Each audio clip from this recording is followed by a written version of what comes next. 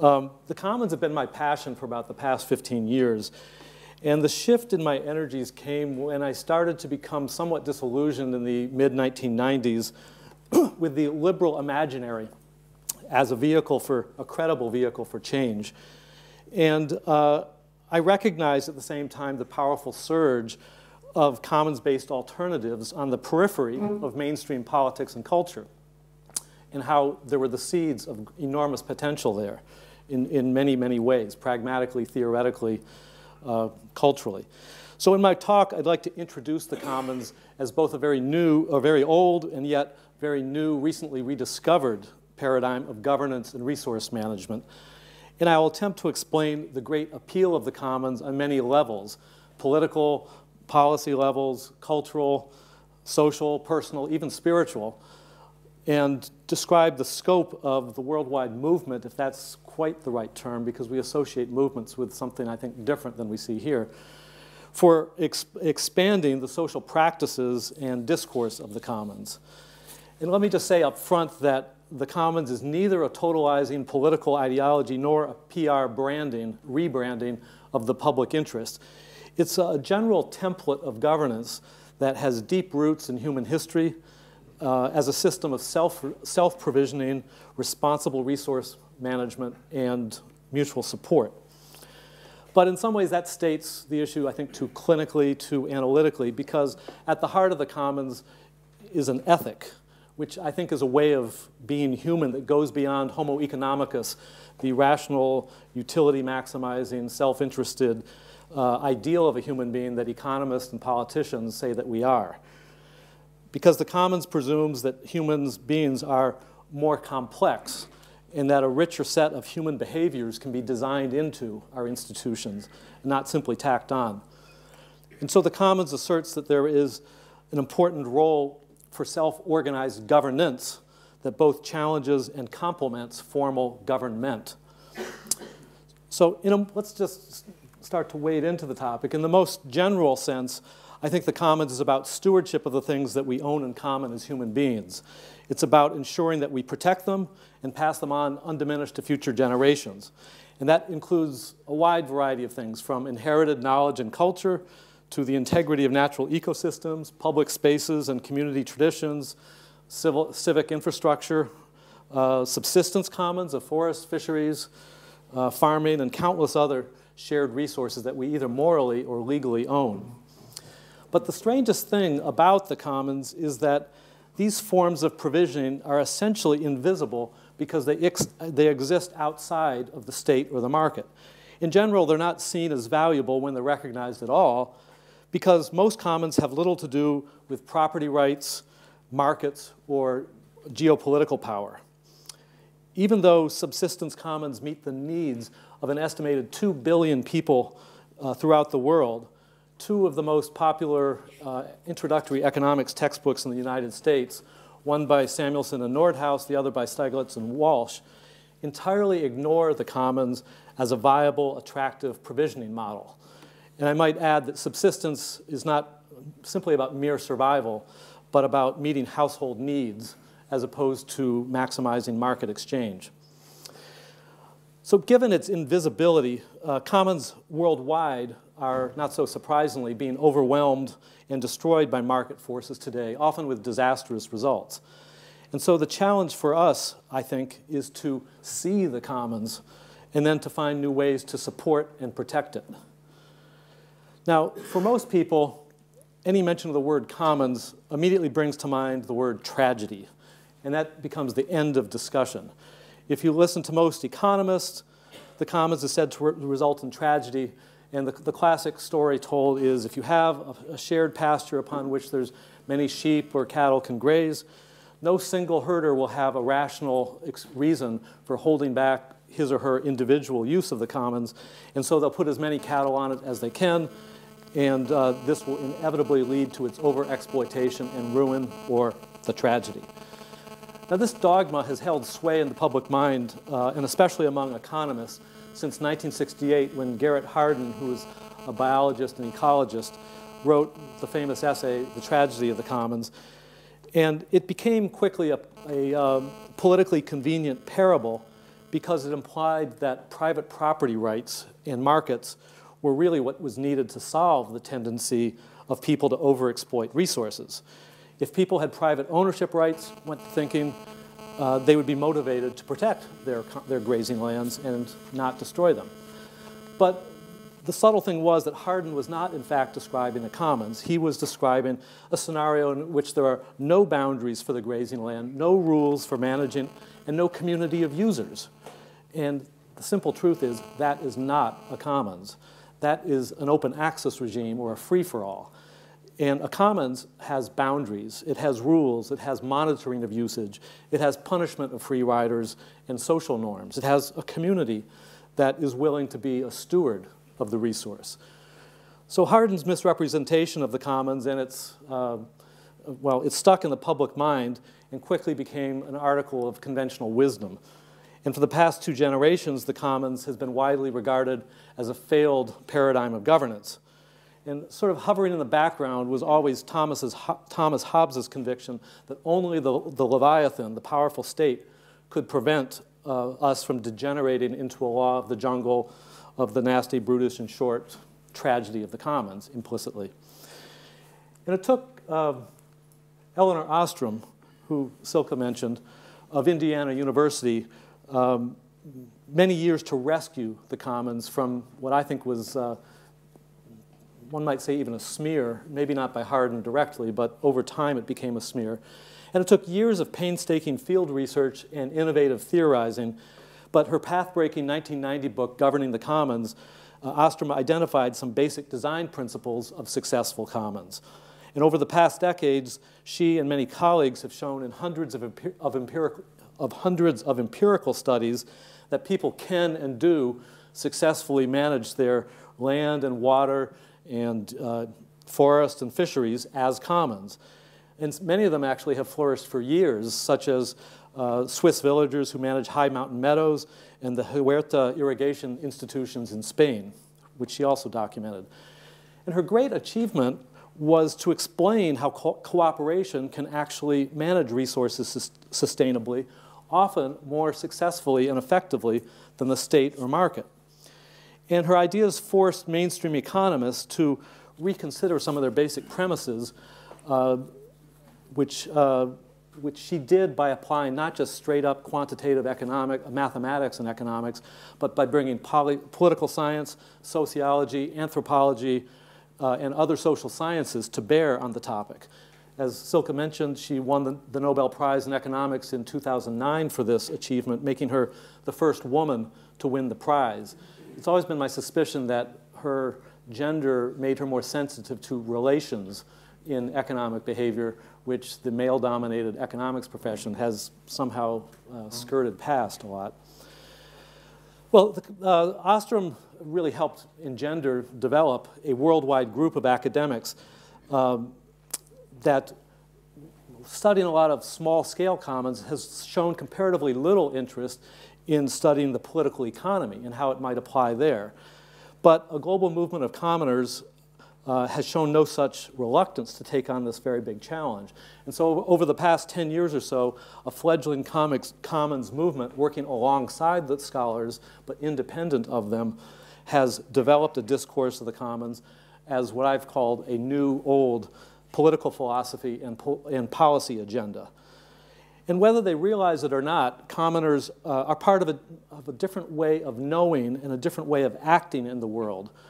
Uh, the very act of commoning, which are the social practices of commoners in managing their shared resources, it embodies a different worldview uh, and a different way of being and uh, acting in the world than those presumed by uh, the liberal polity. And I think this is a source both of great promise and tension uh, as I hope to show. And maybe we can start by talking a little bit about the economics of the commons. I, sh I should emphasize in starting that the commons is not just a resource in itself, it's the, which is often called a common pool resource. But a commons consists of a resource plus a distinct social community and its social practices, values, and norms. And it's a sort of integrated, you might call it a socio-economic biophysical package uh, sort of like a fish and a pond and aquatic vegetation. They all sort of go together and uh, depend upon each other. So you can't simply analytically parse it out into isolated elements. It doesn't quite make sense. Um, and I think this is one reason why standard economics doesn't quite get it, uh, get the commons, because it, uh, it proposes, in some ways, a different metaphysics. It, uh, unlike conventional economics, it focuses on the community as a holistic organic entity rather than individual elements or the individual alone. It looks at the whole and sees them as interpenetrating each other. And this is a very different approach to the world than that presumed by the modern liberal state, which sees the individual as sovereign and not necessarily connected to these collective entities. And so the commons starts to recast some familiar dualities of public and private, collective and individual, objective and subjective, blurs them, mixes them in a way that it doesn't quite make sense to talk about them as separate entities. I might even add there's other dualities. You might say teacher and student, um, uh, coach and player. Many of these things, I think, start to blend when seen through the commons lens. Um, I sort of like to think of it in terms of cooperative individualism, but even that term doesn't really convey what we also have to pay attention to, which is the emotional, psychic dimensions of the commons. Because at bottom, the commons is also an experience and an identity. Uh, commoners love and need their resources, and so they have, or at least depend upon them, and so they tend to have uh, motivations to act as conscientious stewards and defenders of them.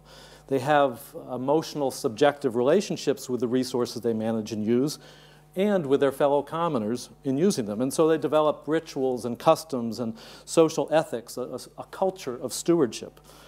And this may be why the commons is such a subversive metaphysics, because it asks us to entertain a richer definition of value than that generally provided by the market or economist. It asks us to entertain a larger conception of the economy than gross domestic product. And it asks us to commit to certain forms of value that go beyond market and prices. Economics, as traditionally construed, is, has focused about on creating wealth and eliminating scarcity. But really, it's only concerned about a certain type of wealth, wealth that has a price attached to it and that can be traded in the marketplace.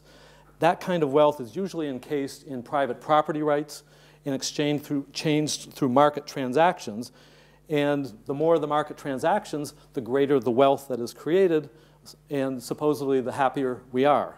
That's the, the grand narrative. And the only problem with this standard narrative is that it doesn't really have much to say about the great stores of value that don't have price tags. How much is the Earth's atmosphere worth? How much is the human genome worth? What about fresh water supplies, our inheritance of scientific knowledge, the internet, our relationships with nature and each other? Well, a lot of this takes us back to uh, philosopher John Locke, who argued that the things that lie outside of a system of private property rights and commerce are best known as res nullius, or nullities. And they stand, uh, these things are the free things, I'm, I'm sorry, these things are free for the taking because no one really has any recognized property rights in them and there's no price for them. And all you have to do essentially is add your own labor and you're entitled to own them. That's the basic philosophical justification that many uh, conquerors and colonizers have used to claim ownership of native lands. The lands were unowned, after all, and the natives didn't have any formal property rights in them, and therefore they're free for the taking. In, in our time, this ethic persists as people claim ownership of ethnobotanical knowledge in the global south and assert patents on genes and life forms and even synthetic nanomatter that's being created.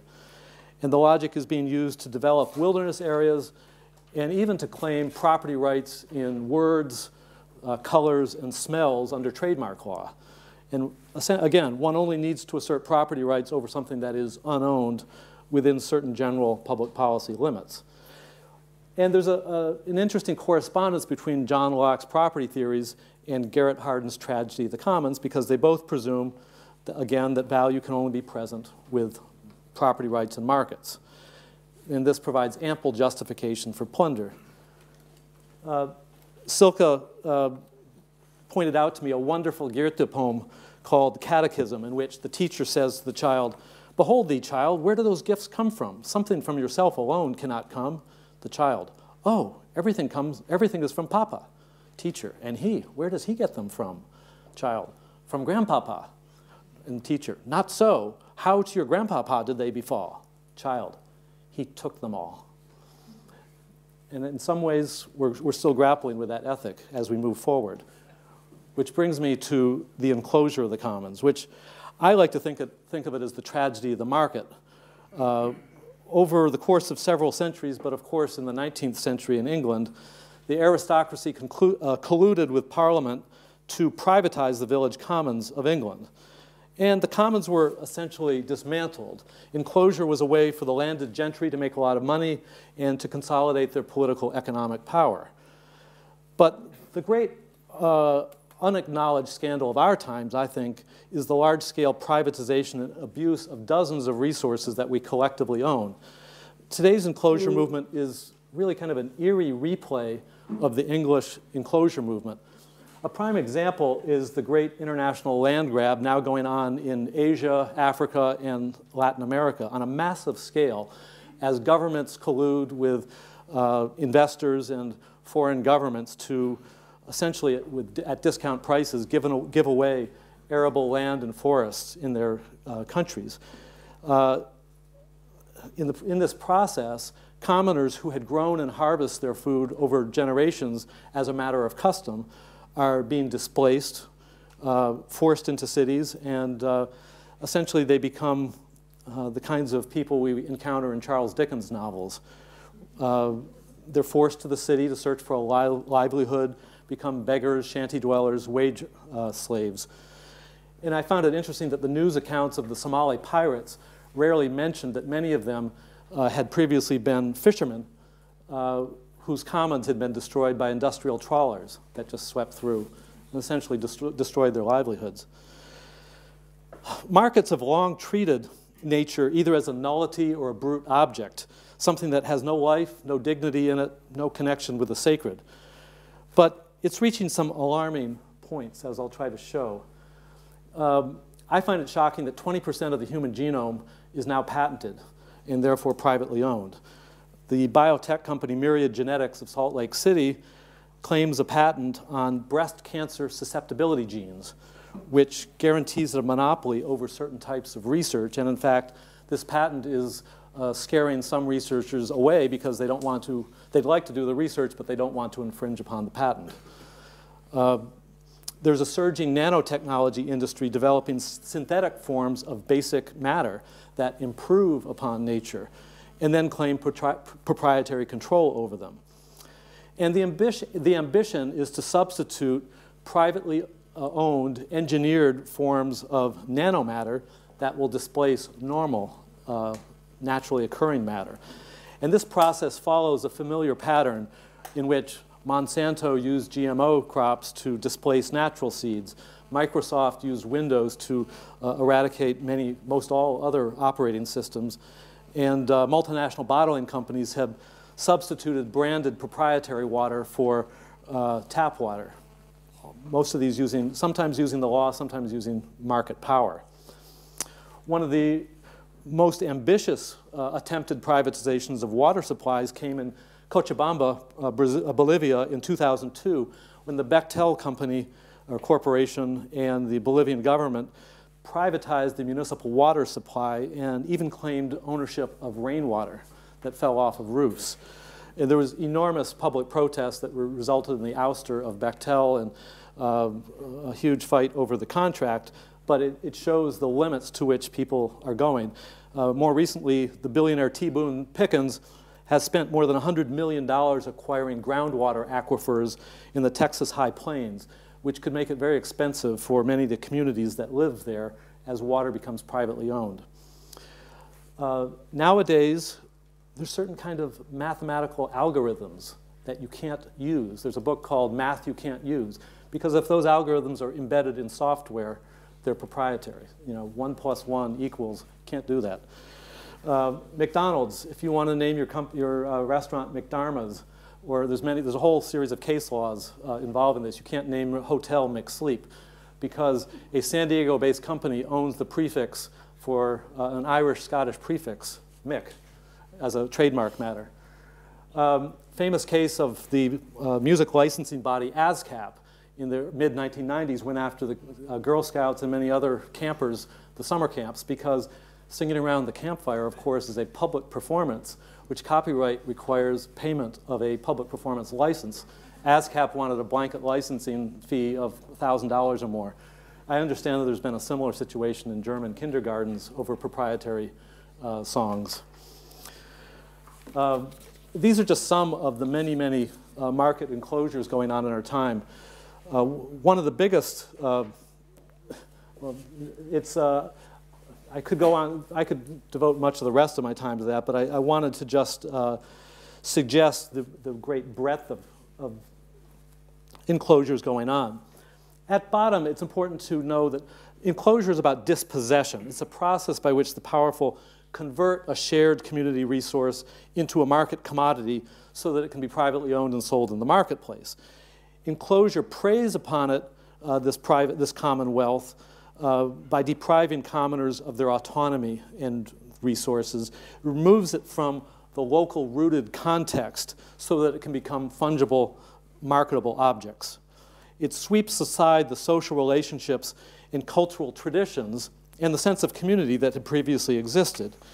And enclosure requires also a certain extreme individualism and a conversion of citizens into consumers, and it often results in greater inequality. Uh, money becomes the coin of social legitimacy in the, in the new regime, and participation, and uh, the coin of social legitimacy and participation. And this process uh, is often known as development. I think that's a term we might want to reconsider. I think enclosures are a symptom of a deep perversity and flaw in contemporary economic theory. Essentially, the inability to differentiate between growth and the volume of market activity and market activity that is socially beneficial and ecologically sustainable. Uh, gross domestic product uh, conflates material throughput through the market machine with human progress. And I think uh, they're, of course, not the same.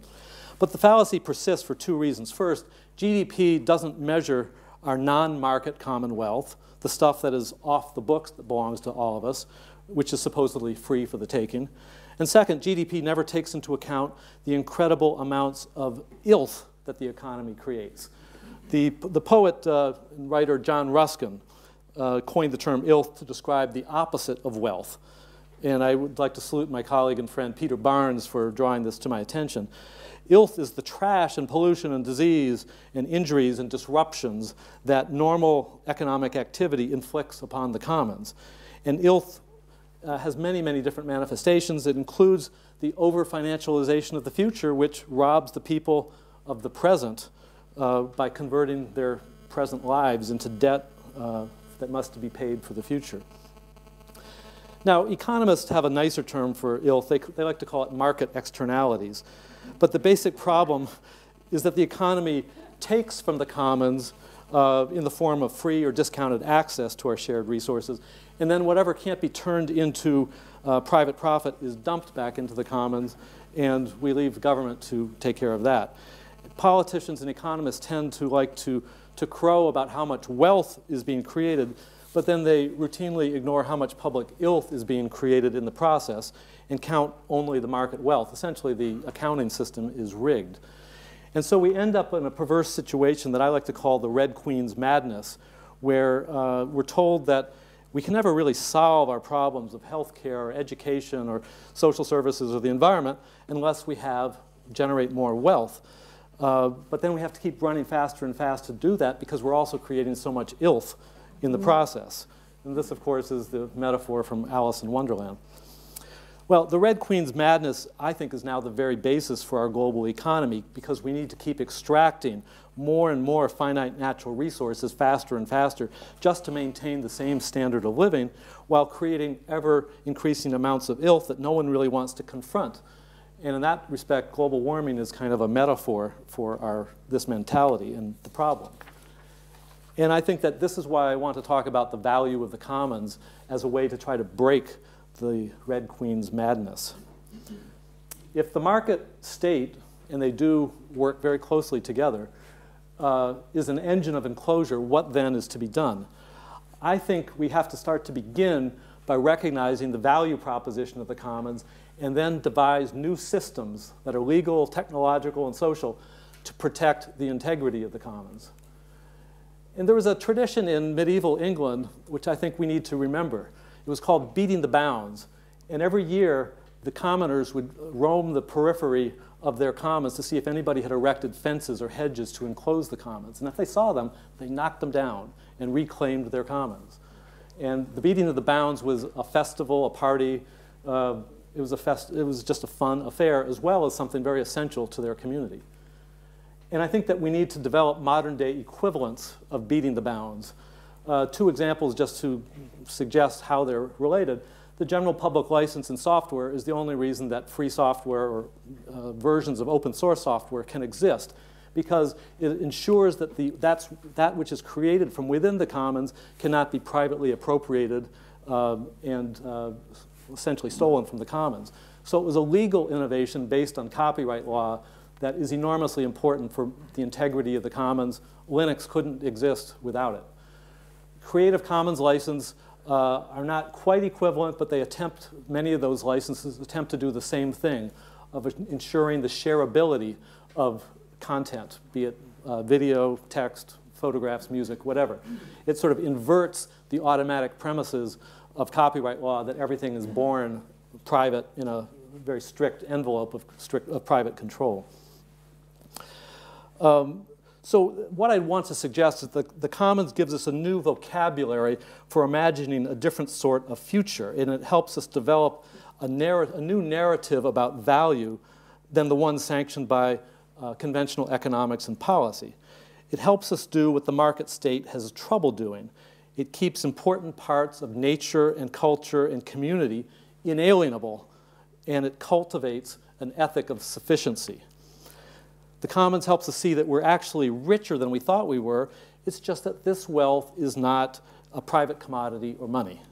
It's actually socially created wealth in which distinct, it's embedded in distinct communities of interest that act as stewards of the wealth. The wealth can't simply be bought and sold like a commodity. And more, moreover, this wealth will disappear unless the integrity of the commons is protected so that it can remain generative over time. So let me illustrate this with a few examples. This is Rajendra Singh uh, of India. He heads, uh, the, was the founder of a group called Young India Association, that has helped heal the local ecosystem of Rajasthan by way of the commons. Several rivers had completely dried, dried up there through overuse. But by applying some near forgotten indigenous Indian knowledge about hydrology and small dams, and by treating the groundwater and rivers as sacred resources that were subject to community stewardship and participation, the Young India Association was able to bring five dry uh, riverbeds back to life and to raise groundwater levels by 20 feet. And the soil has become moist and fertile again, and people who had abandoned it have moved back to farm and start businesses. I was in India, India in two, uh, January 2010, so I have another story of how self-organized commoners uh, helped overcome some of the pathologies of free markets in the small village of uh, Erakapuli, two hours west of Hyderabad, a community of rural poor women from the uh, lowest caste in India, the so-called Dalits, uh, used to be bonded laborers working on a landlord's farm. And they only had enough to eat one meal a day.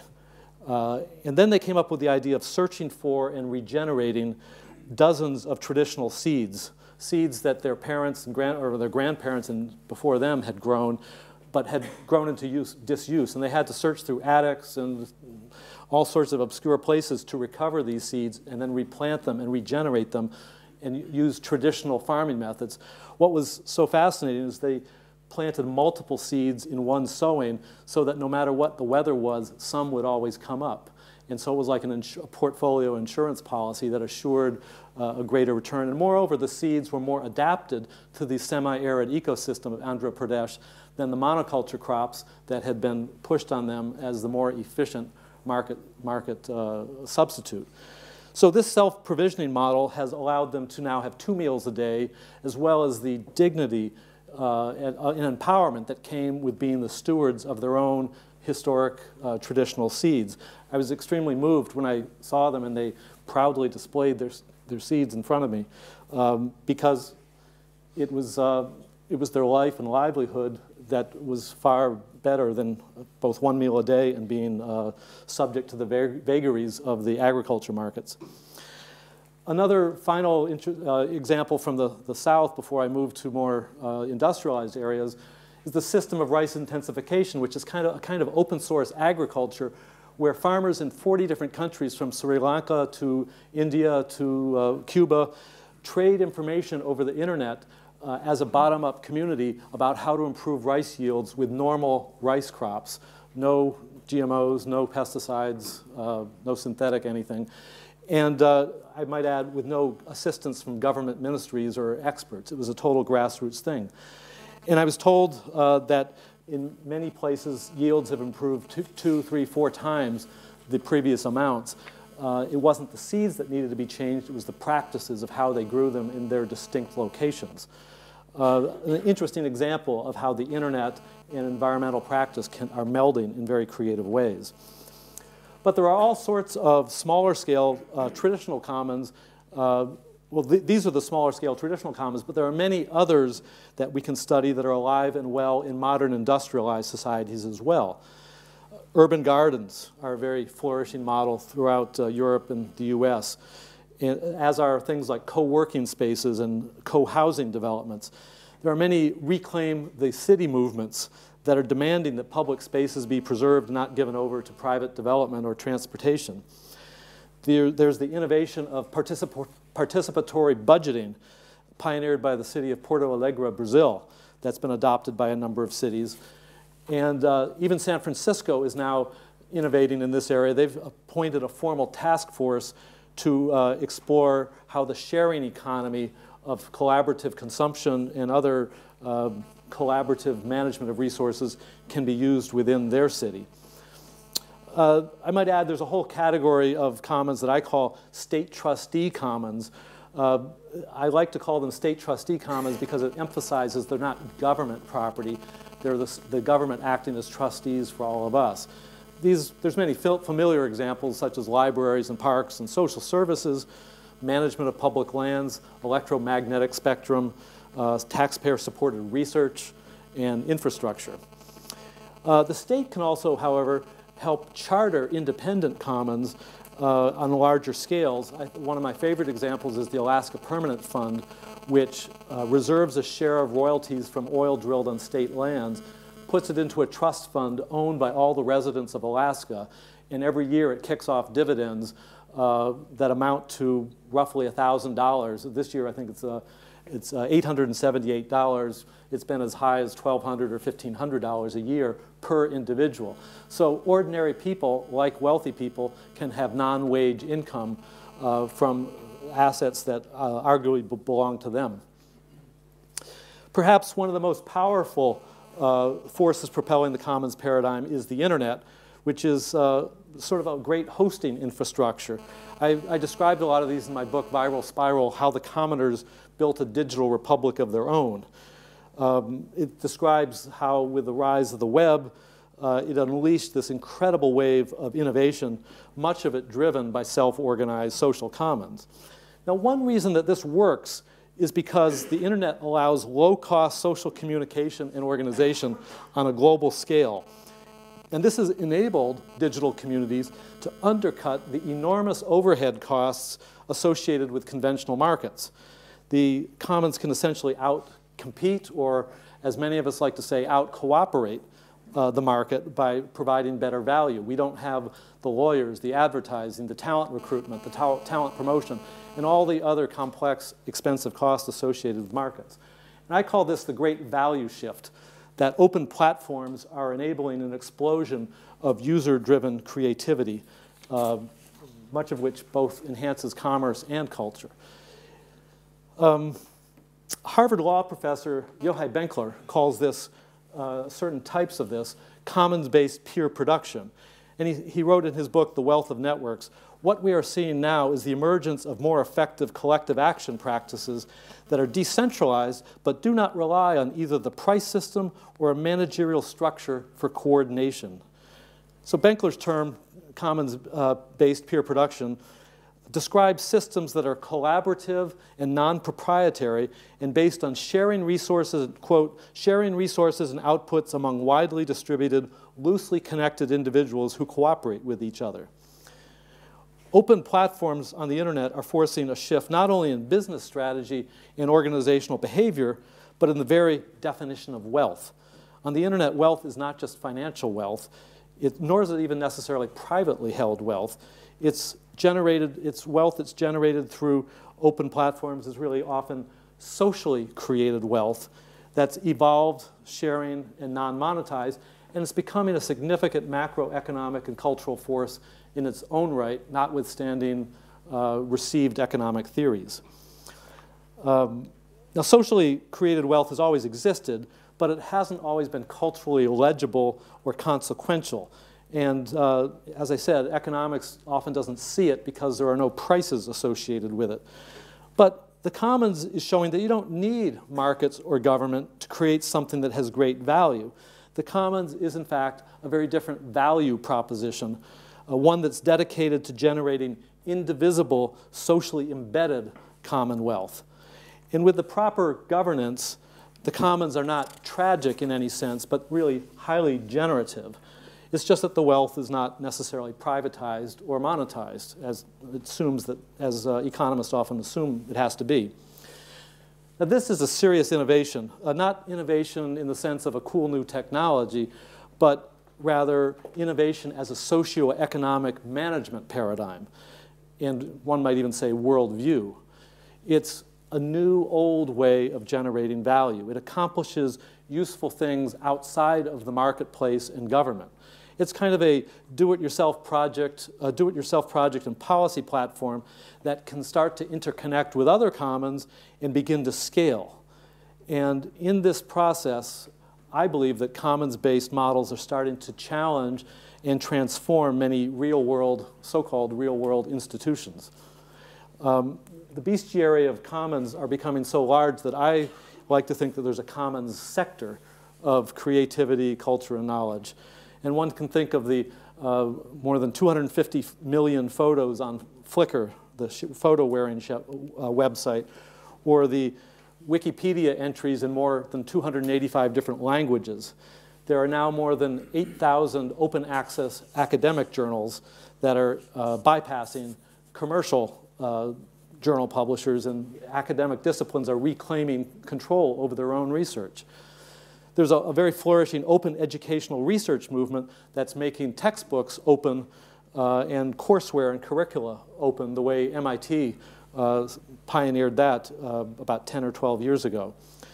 So, uh, and then of course there's the Creative Commons licenses which have helped just untold millions and millions of uh, creative works and information be shareable rather than automatically locked up as copyright law generally requires.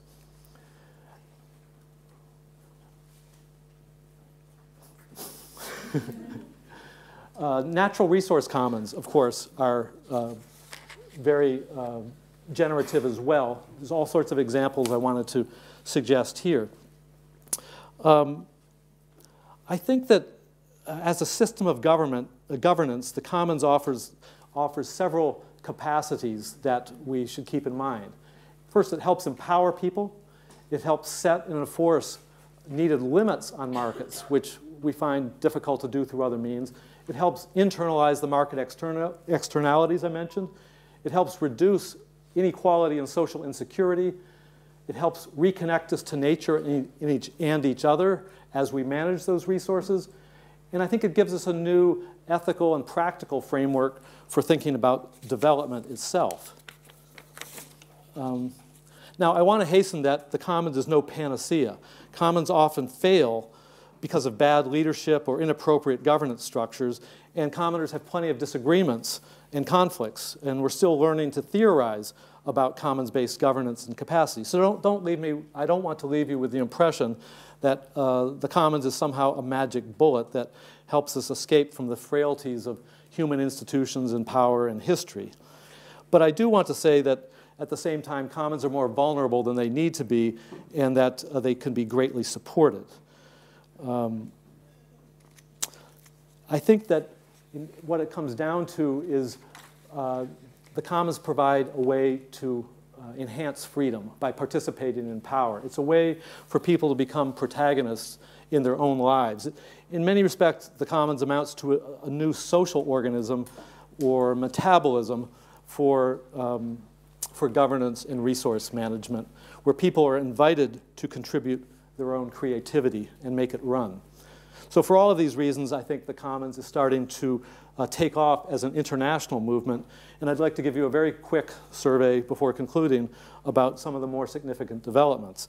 Uh, in Italy, there was a major, major voter initiative two years ago about privatizing water, municipal water supplies, which re was rejected by a, an astonishing 94% of the electorate. Uh, and it was cast as a vote on whether water should remain a commons. And so the commons has taken on a, a new public life in, uh, in Italy. There's even uh, many initiatives by the mayor of, of Naples to uh, help local municipalities deal with local commons and empower them. Uh, there's even a, an initiative to get an EU voter initiative on a European charter on the commons to help give some legal force to protecting commons. Many people in the global south are exploring the promise of the commons. The World Social Forum has issued a manifesto about the topic. The Supreme Court of India has issued a very broad and strict uh, uh, ruling protecting the rights of commoners in various villages. Uh, the state of Rajasthan has issued public policies to protect uh, forests, lakes, and farmlands and other natural resource commons. Uh, Bolivians are exploring, have put in their constitution uh, giving rights to Mother Nature. We have now uh, Creative Commons license in, licenses in more than 80 legal jurisdictions around the world. And uh, to try to, to suggest the range of things going on, Silke and I produced, uh, well, Silke produced the German version, and I helped produce the, uh, the English version that just came out of these books, these anthologies in the Commons which try to go beyond the academic scholarship and show the projects, the activism, the innovative policies associated with all sorts of commons. Um, and then the, the, Heinrich Böll Foundation and the Commons Strategy Group hopes to uh, produce a conference on the commons and economics in May of next year to help explore these issues more. Uh, I've been working, just completed a book on uh, environmental governments, governance, and the commons and human rights, where we hope to push this even further to try to develop a new imaginary for how commons-based law could help us improve environmental governance. There's lots of uh, educational initiatives about the commons going on. There are numerous transnational tribes of commoners, as I call them, which uh, are highly active and dynamic in uh, controlling all sorts of different resources. Um, the power of common, the commons discourse, I think, is the fact that it has a rich worldview and ethical sensibility. It draws upon a rich legal history that I think is often ignored. And it's a coherent intellectual discourse that tries to span many different areas. Uh, has constructive practical models as opposed to simply being uh, uh, an intellectual critique alone. And I think uh, also an, uh, an, unexamined or underappreciated aspect is that it engages uh, our inner uh, affinities and aspirations and uh, commitments to other people in ways that conventional institutions often have trouble doing. So for all these reasons, I think that um, there's actually a strong future ahead for the commons. I often like to cite a um, a, French political figure and student of the Commons, Alain Lipietz, uh, traces the etymology of the Commons to William the Conqueror and the Normans, not the English, interestingly. And the word common supposedly comes from the Norman word commune, which comes from a word munus, which means both gift and counter gift, which is to say duty. And I think that this really captures a lot because I think we need to recover a world in which we all receive gifts and we all have duties.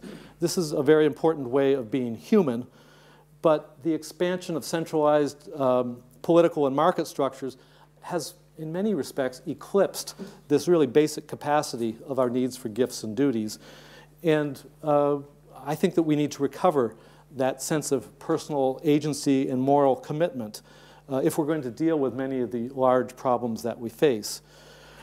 Uh, but I find reassuring that this has such deep resonance among so many different people around the world, from Filipino farmers to hackers in Amsterdam to German co-op members to American free culture users and on and on.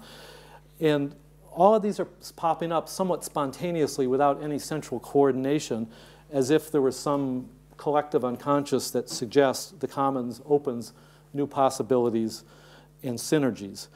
So I find all of this encouraging because when theory needs to catch up with practice, you know that something very powerful and interesting is going on. And at a time when the old structures and narratives simply are not working, the Commons gives us a scaffolding and platform to build anew, to be hopeful, and we very much need some credible, hopeful ways to move forward. So with that, I'd like to have a larger conversation with you all about the Commons.